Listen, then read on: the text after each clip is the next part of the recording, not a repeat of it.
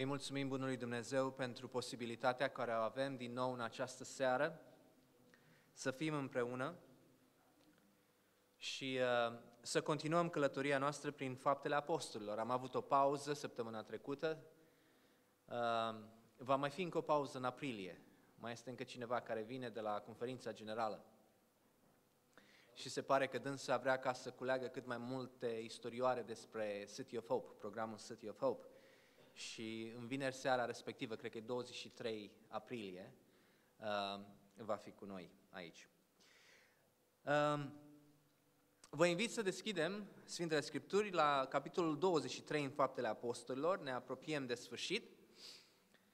Mai sunt doar 5 capitole și uh, îi mulțumesc fratelui uh, uh, Ionuț, a făcut capitolul 22 și în capitolul 22 s-a vorbit despre cuvântarea lui Pavel. Interesant cum el a vorbit, ne, ă, s-a folosit de faptul că este evreu și după aia când a venit timpul să folosească și ă, partea că sunt roman, a folosit-o spre avantajul lui.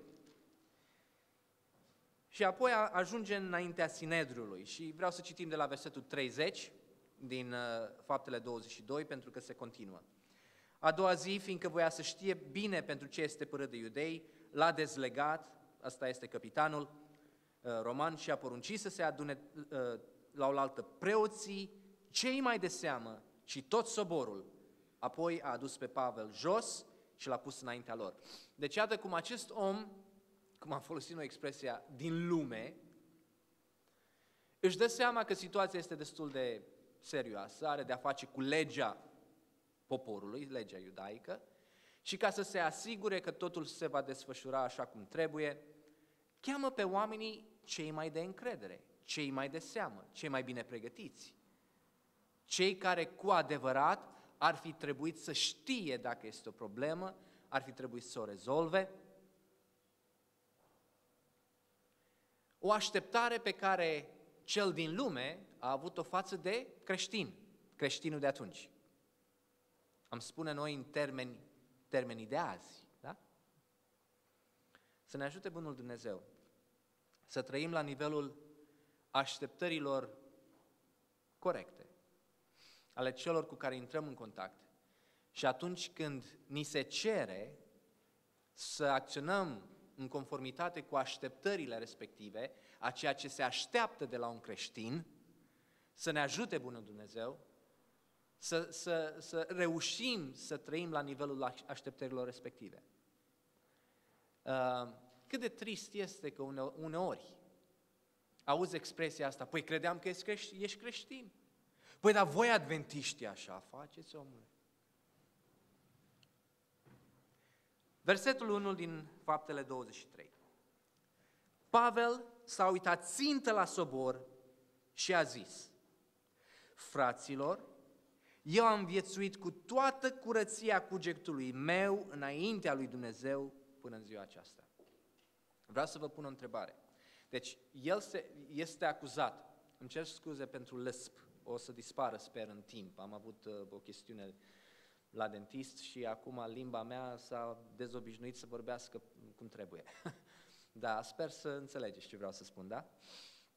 Uh, îl avem pe Pavel, se, se află într-o situație foarte delicată, e părât, adus înaintea soborului și iată cum începe. Și întrebarea pe care o am, câți dintre noi am putea să spunem aceste cuvinte?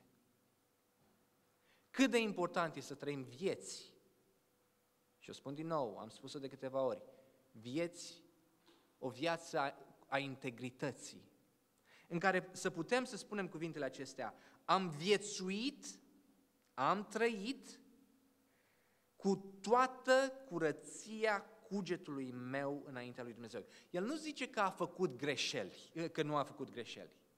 Nu zice că e perfect. Nu zice că e fără greșeală. Dacă în ceea ce a făcut, în modul în care a vorbit, modul în care a viețuit, a viețuit cu toată curăția cugetului lui. Citeam un articol astăzi uh, într-un uh, magazin de psihologie despre faptul că, uh, ce, când, ce înseamnă când ești trădat de cei de încredere, în business, în relații, în orice. Și uh, știința în jurul acestui lucru. Și că în lumea asta este aproape imposibil să găsești oameni care trăiesc fără agende specifice. Când ai conversații, când uh, intri într-un business deal, când, uh, mă rog, se întâmplă orice, întotdeauna se pare să fie un interes în spatele anumitor lucruri. Să trăiești cu toată curăția cugetului în timpul din azi e riscant. Pentru că atunci poate că alții o să își bată joc de tine, o să uh, te disprețuiască și o să uh, te folosească. Însă înaintea lui Dumnezeu, El asta așteaptă de la noi. Să trăim cu un cuget curat înaintea Lui. De multe ori noi trăim cum trăim pentru că trăim înaintea oamenilor. Poate vrem să impresionăm pe cineva, poate vrem să-i, facem, să-i facem pe oameni să creadă în anumit fel despre noi. Să trăiești înaintea lui Dumnezeu înseamnă că știi că de El nu poți să te asculți, că la El nu, nu există umbre, totul e în lumină. Și așa a trăit Apostolul Pavel. Deci el începe această cuvântare, înaintea soborului, prin a-și da calificarea. Și nu începe cu sunt iudeu, cum a început cu ceilalți, nu începe cu sunt roman, cum a început cu capitanul. Înaintea soborului, soborul avea scopul soborului, era acela de a menține puritatea credinței poporului. Și el începe această cuvântare în felul acesta, prin a reaminti celor care îl ascultau, soborul are de a face cu astfel de lucruri. Voi trebuie să uh, fiți conștienți, sau eu sunt conștient de așteptările voastre. Începe, după aia avem trei puncte, înseamnă că nu a reușit încă să termine ce avea de spus. Sau tocmai a terminat ce a spus și marele preot Anania a poruncit celor ce stăteau lângă el să lovească peste gură. Hai să încercăm să ne imaginăm puțin scena asta, da? Apostolul Pavel este adus de către ostașii romani înaintea soborului. Acum o să citim versetul 3 și o să încercăm să-l înțelegem. Și acolo el începe prin a se prezenta într-un mod care pare arogant. Dar el se prezintă în conformitate cu așteptările soborului și de asemenea, încercând să le spună nu am nici un interes meschin, ăsta sunt eu și mă aflu înaintea voastră fără vină. Un pic o paralelă cu Isus Hristos. Când este adus înaintea soborului, înaintea lui Pilat, om fără vină. Și Anania, mai marele preot, când aude, marele preot, când aude o astfel de introducere, o astfel de prezentare, poruncește celor care se aflau lângă Pavel să-l lovească peste gură, pentru că poate dacă era el lângă el, îl lovea el. Poruncește, dați una în gură. De ce? Poate că au, au considerat vorbele lui Pavel ca fiind aroganță. Poate s-a simțit condamnat de vorbele care au ieșit din gura lui. Trebuie să înțelegem că Apostolul Pavel era foarte bine cunoscut de sobor. El avea una, o anumită reputație, l-au cunoscut înainte de convertire și l-au cunoscut după convertire. Reacția e extremă. Însă reacția lui Pavel pare la fel de extremă.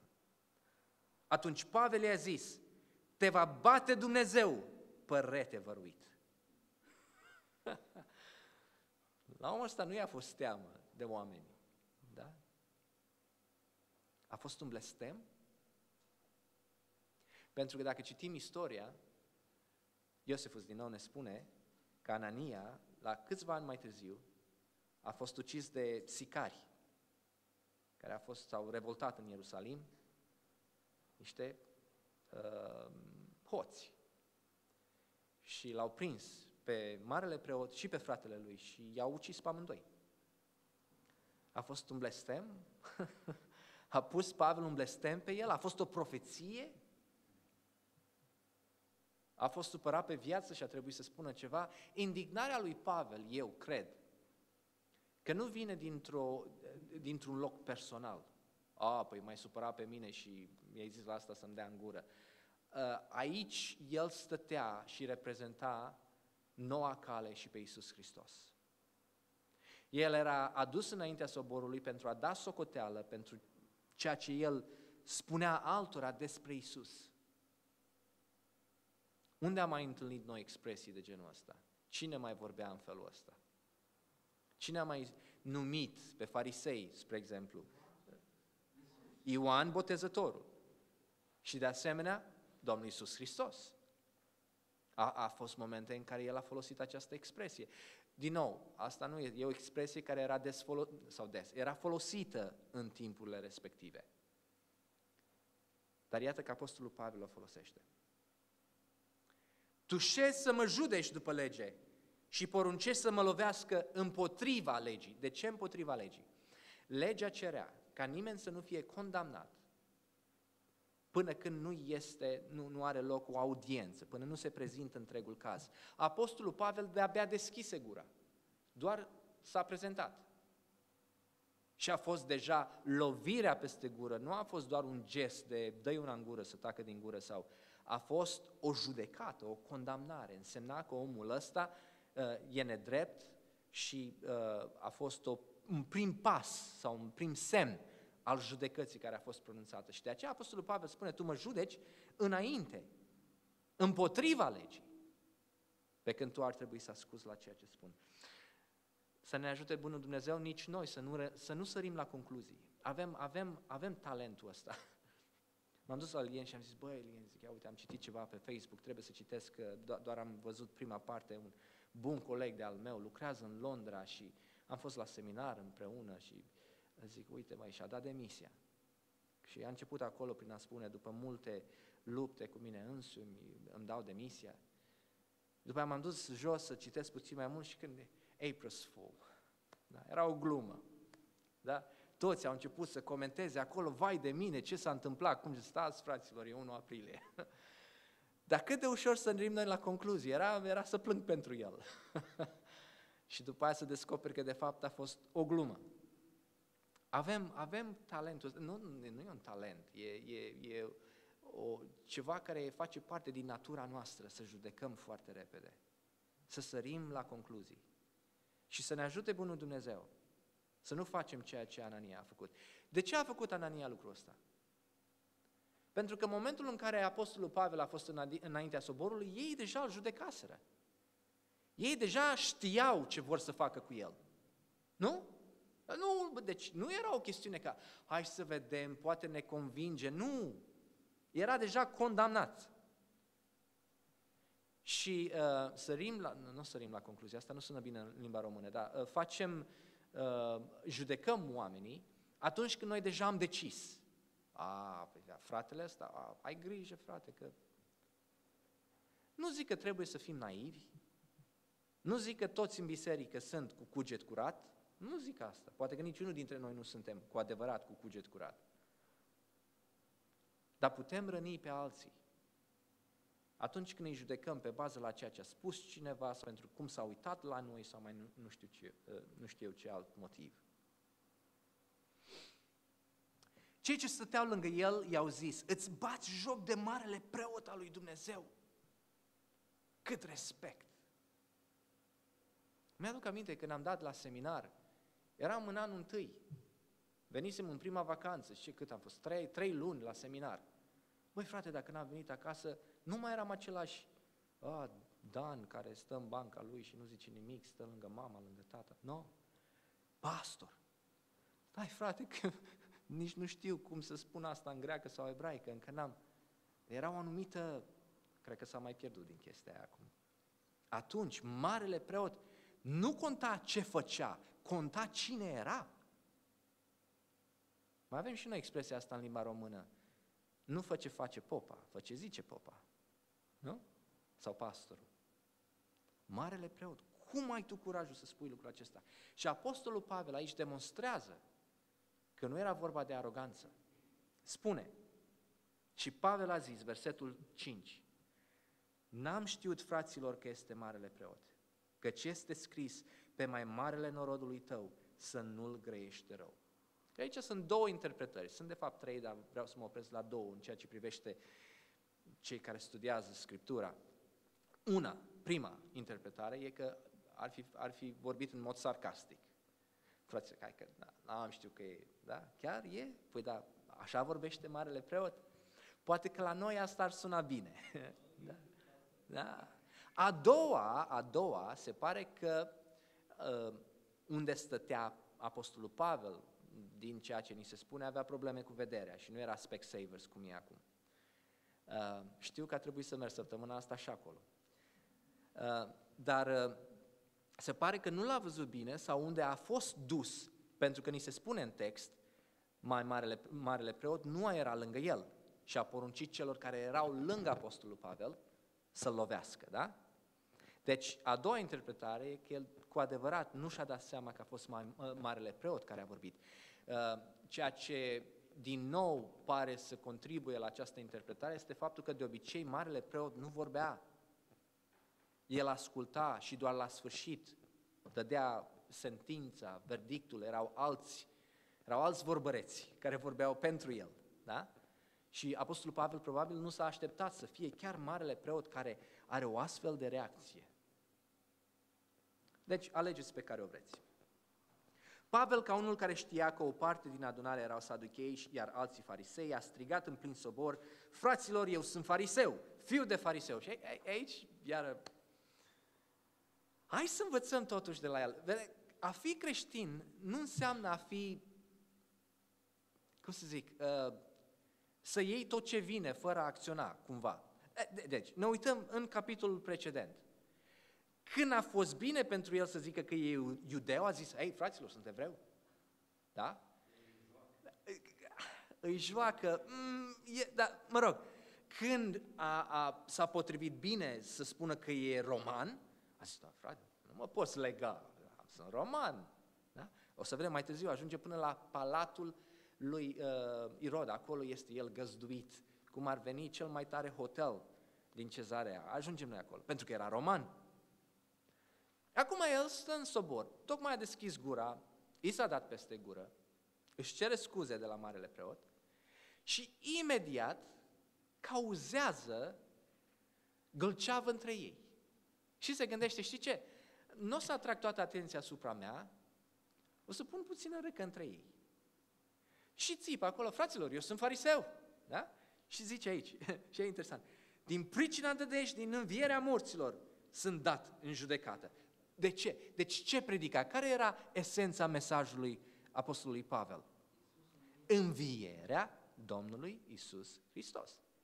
Și el zice, uite, ca fariseu, farisei cred în înviere și eu cred că Isus, da, da, deci farisei nu credeau că morți învie în timpul lor, da? el a folosit acest argument și zice, uite, un mort, unul a murit, noi credem că este Mesia pentru că a fost înviat și eu cred în, în, în înviere. Când a zis vorbele acestea, s-a stârnit o neînțelegere între farisei și saduchei și adunarea s-a dezbinat. Deci, dintr-o dată, asta e foarte interesant. Și asta e o metodă care uneori poate se folosește și în, în familii și eu, copiii sunt extraordinar de deștepți. Deci acum mai avem, avem soborul împotriva lui Pavel. Pavel face afirmația asta și acum avem o parte din sobor împotriva la o altă parte din sobor și Pavel e cumva așa, în spatele la, știu eu, o columnă undeva acolo. Copiii uneori fac lucrul ăsta. Își dau seama că vor ceva sau, mă rog, vor să meargă undeva și amândoi, mama și tata, zic, nu, nu e așa. Nu poți, n-ai voie. Deci mama și tata sunt uniți. Și copilul uneori își dă seama, stai așa, că dacă fac pe mama și pe tata să uh, nu fie de acord între ei, atunci o să am eu câștig de cauză. Și atunci spune ceva, tată, ți-aduce minte, da, atunci noi am făcut asta. Mama, păi cum, ai făcut așa? Și imediat copilul a nu mai atenția asupra lui. Da? Asta a făcut Pavel. Atenția asupra mea, stai așa, hai să vedem. Căci saducheii zic că nu este înviere, nici înger, nici duh. Și aici avem o chestie. A, uite frate, vezi, se vorbește despre duh. Deci sunt duhuri. Când mori, îți dai duhul. E duhul care merge la Domnul, nu e suflarea. sau nu e așa, sau uh, Luca nu știa să facă matematică. Pentru că zice, când saducheii zic că nu este înviere, înviere, nici înger, nici duh, pe când fariseii le mărturisesc, păi ar fi trebuit să fie amândrei. Că vorbește de înviere, de îngeri și de duh. Sunt trei. Dar după aia se vorbește despre două.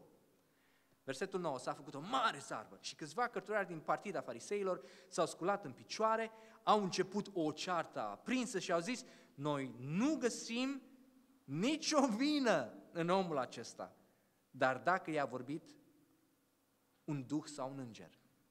Deci duh, înger, de fapt, erau puse în aceeași uh, oală, cum ar veni, deci din afara sferei muritorilor, duh sau, duh sau înger, deci o, o, o ființă supranaturală, cum ar veni. De aceea se vorbește despre amândouă, înviere și duh și înger.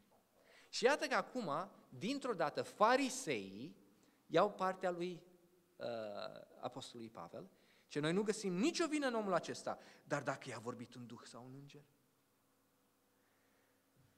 Ce i-a făcut să-și schimbe părerea despre Pavel? Când a intrat, când a fost Pavel adus înaintea întregului sobor și când i s-a dat peste gură, nu credeți că și fariseii erau de acord? Da, frate, dă Ce i-a făcut să schimbe părerea? Ce a făcut dintr-o dată să spună, noi nu găsim nicio vină? A avut, asta a avut loc în câteva minute, nu a fost o judecată cu dovezi, cu evidențe, cu mai... Da? Dintr-o Nu, de ce? Pentru că e al nostru. E al nostru, e dintre noi. Nu cred că în bisericile noastre sunt farisei și saduchei. Da?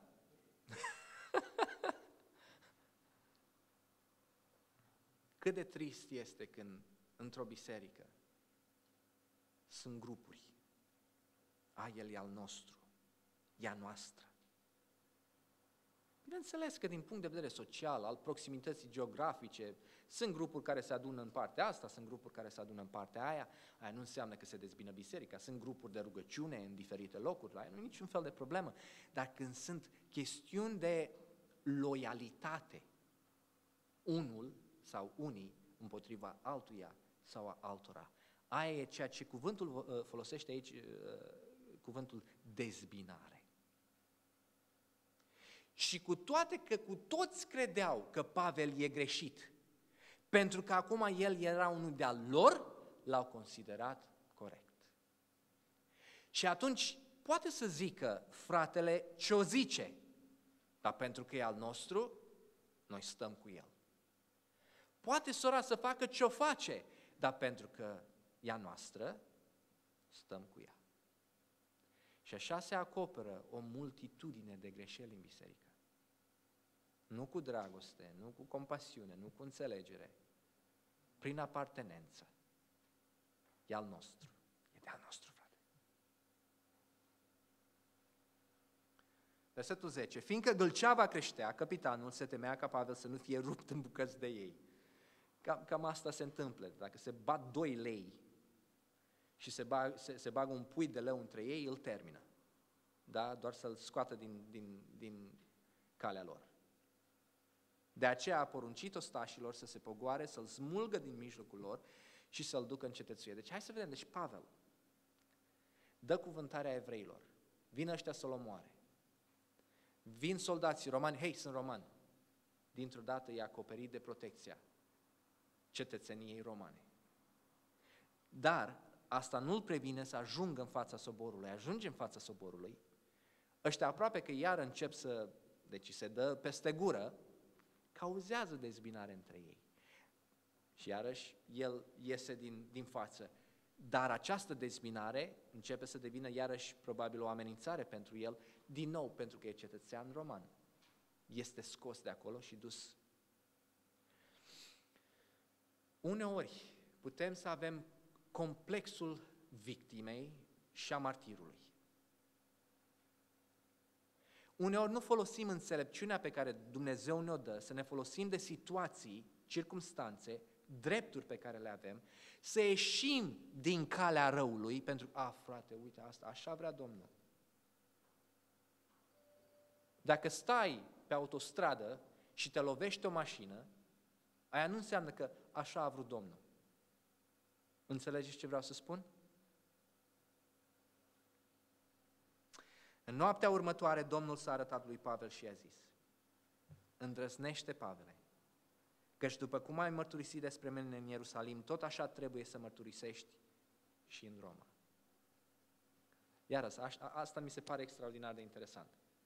În primul rând, ce încurajare. Nu simțiți că uneori ați vrea să fiți într-o situație în care Dumnezeu să vi se arate noaptea. Mâine, de dimineață, vom vorbi despre teologia de la miezul nopții. Despre aia vom vorbi. Dar nu, nu ați spera când sunt situații, știu eu, dificile sau treceți prin ceva și aveți nevoie de confirmare că Dumnezeu e cu dumneavoastră, că Dumnezeu e lângă voi. Așa cum Domnul Iisus Hristos a primit aprobarea lui Dumnezeu pe cruce, când acel tâlhar a spus, aduți aminte de mine. Da? Ellen White vorbește atât de frumos că aia a fost o confirmare din partea lui Dumnezeu pentru Domnul Iisus Hristos, că jertfa lui a fost acceptată. Și să ai în noapte o astfel de asigurare. Poate că să nu fie verbală, poate un simțământ, o pace care vine peste tine. Dar unde se afla Apostolul Pavel? Înaintea soborului unde? Unde are loc această întâmplare? Unde era Sinedru? Unde era soborul? În Ierusalim, nu? L-a fost dus la Ierusalim. Și, Domnul Iisus, ă, și Dumnezeu îi spune lui, Iisus, ă, lui, ă, lui Pavel, așa cum ai mărturisit în Ierusalim, așa vreau să mărturisești și în Roma. Dumnezeu nu îi spune, e ok, o să te scapi și de asta.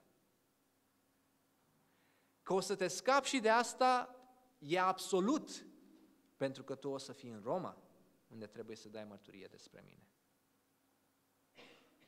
O să vorbim mai mult mâine. Hai să terminăm tot pasajul ăsta, o să încerc. La ziua, iudeii au uneltit și s-au legat cu blestem că nu vor mânca, nici nu vor bea, până nu vor omorâ pe Pavel. Câtă dedicare, am mai spus-o și cu altă ocazie, câtă dedicare din partea lor să facă rău. Dacă am avea doar jumătate de dedicare, să facem bine. Cred că am face atât de mult bine. Nu mănâncă, nu bea, până l omorâm pe ăsta. Și vreau să vă spun ceva, au făcut-o din convingere absolută că făceau ceva bine. Ei au crezut că cu adevărat asta a fost ceea ce Dumnezeu a cerut de la ei. Pavel e cancer pentru, Iesu, pe, pentru Israel, pentru lege, pentru legea lui Moise. Trebuie să-l, să scoatem de aici. Era în conformitate cu lege. Dacă cineva uh, făcea, aducea blasfemie înaintea lui Dumnezeu, trebuia să fie uciși cu pietre. Nu? Au uneltit și s-au legat cu blestem. Cum spunem noi în limba română, să mă bată Dumnezeu dacă nu fac asta și cealaltă. Aveți grijă cum, cum, cum vorbiți de Dumnezeu, că se poate să se întâmple. Cei ce făcuseră legământul acesta erau mai mult de 40. Nu erau unul sau doi. 40 de oameni, mai mult. Ei s-au dus la preoții cei mai de seamă și la bătrâni și le-au zis, noi ne-am legat cu mare blestem să nu gustăm nimic până nu vom omorâ pe Pavel. La cine s-au dus? La mai mari poporului, la bătrâni, la cei înțelepți și te aștepta ca cei înțelepți să le spună, băi, oameni buni, stați așa, că încă nu l-am judecat pe el, trebuie să discutăm, trebuie să vedem ce și cum. Acum, dar voi împreună cu soborul, dați de știre capitanului și rugați-l să-l aducă mâine jos înaintea voastră, ca și cum ați vrea să-i cercetați pricina mai cu deamănuntul. Și până să ajungă el, noi suntem gata să-l omorăm. Un plan meschin, diabolic. Și bătrânii sunt de acord mai mari poporului sunt de acord. Să se comită o crimă. Când era vorba de omorârea cu pietre, cum a fost omorât uh, Ștefan, era în contextul, trebuia să fie public. Era o condamnare publică. Astfel era acceptată. Ceea ce ei sunt de acord aici ca sobor este să-l omoare în secret. Să-l omoare pe ascuns, bineînțeles, adică planul e pe ascuns. Să ne ajute Dumnezeu ca biserică, comitet, niciodată, stimații mei, să nu ajungem la punctul unde suntem pe cale să omorâm pe cineva. Reputația, numele cuiva, pentru că nu ne place ce au zis, cum au zis. Cel mai bine e ca întotdeauna să se vorbească direct și cel mai bine este ca întotdeauna totul să fie deschis. Fiul sorei lui Pavel, Dumnezeu întotdeauna are oamenii lui. Dacă sunteți nedreptățiți, încredeți-vă în Dumnezeu și adevărul va ieși la iveală. Fiul sorei lui Pavel a auzit de această cursă. S-a dus în cetățuie și a spus lui Pavel, Pavel a chemat pe unul din sutași. Deci Pavel nu a zis, a, Domnul e cu mine. Domnul mi-a zis. Pavel putea să spună, hei, am avut o vedenie, am avut un vis, Domnul mi-a zis, o să fie ok, lasă-i să plănuiască. Nu! A acționat. El a văzut că e parte din planul lui Dumnezeu, ca fiul sorei lui să audă ce se întâmpla. Pavel a chemat pe unul din sutași și a zis, du pe tinere, tinerelul acesta la capitan, căci are să-i spună ceva. Sutașul a luat pe tânăr cu el, a dus la capitan și a zis, Pavel, cel întemnițat, m-a chemat și m-a rugat să aduc la tine pe acest tinerel care are să spună ceva. Capitanul l-a apucat de mână, L-a luat deoparte, foarte înțelept capitanul. De foarte multe ori în faptele apostolilor găsim pe acești păgâni care fac lucruri mult mai înțelepte decât sfinții. Da? Decât bătrânii și uh, soborul și toți ceilalți.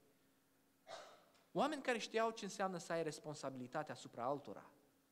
Nu vrea să facă greșeală, băi, e cetățean roman. Poate chiar capul era, știu eu, trebuia să-și, să-și păzească pielea.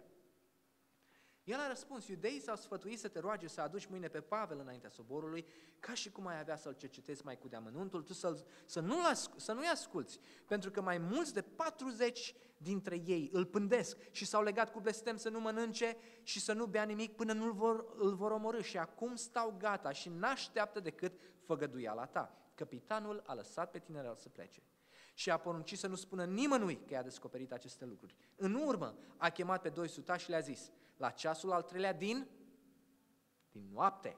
Înțelept. Da? Să aveți gata, ia scrie, 200 de ostași, 70 de călăreți și 200 de sulițari care să meargă până la cezarea. Câți erau care vreau să-l omoare pe Pavel? Vreo 40. Adună 200 cu 270, 470 de oameni. Omul ăsta, he, he meant business, da? Deci știa ce vrea și ce face. Și s-a asigurat din toate părțile. Avea sutași, avea sulițari, avea călăreți, că nimic nu, îi se, nu îi, uh, avea să-i se întâmple lui Pavel. A plănuit bine. Și noi uneori trebuie să plănuim. Uneori intrăm și îmi scuzați expresia ca berbeci în unele chestii. Și cât de trist e când facem asta cu biserica. A, Duhul va călăuzi. Să nu, să nu mă înțelegeți, înțelegeți greșit.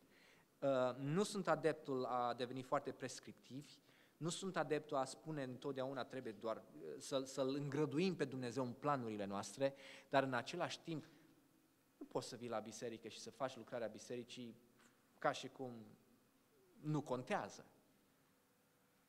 Trebuie dedicare, trebuie rugăciune, trebuie forță.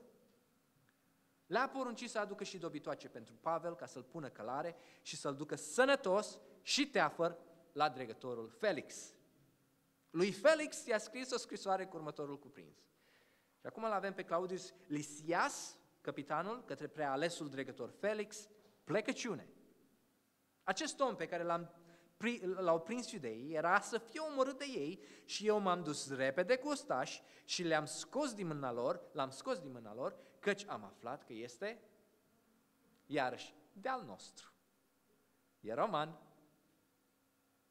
Nu cred că Claudius Lisai, Lisias ar fi avut 470 de soldați pregătiți să-l apere pe un iudeu. N-ar fi avut niciun interes. Dar pentru că era roman, l-au apărat.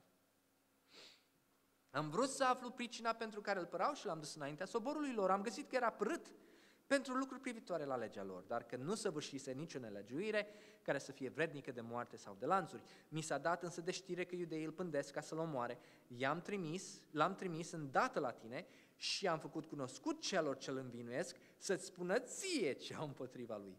Fii sănătos! Deci, cu alte cuvinte, Felix, e problema ta. Le-am spus care e problema, dar acum tu trebuie să te ocupi. Tu ești mai mare, tu, e responsabilitatea ta. E, e o grămadă de înțelepciune în modul în care se acționează. În, e e, e ca, ca un film de acțiune, adică dacă te gândești, citim Biblia, da, doamne, în Biblie, dar sunt atât de multe subterfugii și plănuieli în timp ce citeam asta, mă gândeam, da, dar stai așa, că totuși Dumnezeu e Cel care conduce totul, dar aici apare că sunt doar oameni foarte isteți, care știu ce și cum. Și probabil că lecția e că Dumnezeu lucrează prin oameni de asemenea. Dumnezeu folosește circumstanțe, dar Dumnezeu folosește și oameni. Terminăm, ostașii după porunca pe care o primiseră au luat pe Pavel, l-au adus noaptea până la Antipatrida, a doua zi au lăsat pe călăreți să-și urmeze drumul înainte cu el, iar ei s-au întors în cetățuie. Ajuns în cezarea, călăreții au dat scrisoarea în mâna trecătorului și au dus pe Pavel înaintea lui. Dregătorul, după ce a citit scrisoarea, a întrebat din ce ținut este Pavel, când a aflat că este din Cilicia. Te voi asculta, a zis el, când vor veni părâșii tăi. Și a poruncit să fie păzit în palatul lui Irod. Nu, nu oriunde, în palatul lui Irod. Acolo l-au pus să fie păzit. Nu l-au pus în lanțuri. Aveți grijă. House arrest. Da? În palatul lui Irod.